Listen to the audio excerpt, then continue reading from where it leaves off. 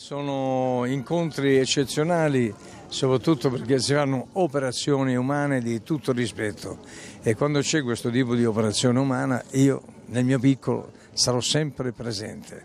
Aggiungi prevenzione gratuita perché è più allettante come prospetto. Che ci sia una chiamata a questo tipo di attenzione, a questo tipo di eh, verità, a questo tipo di umanità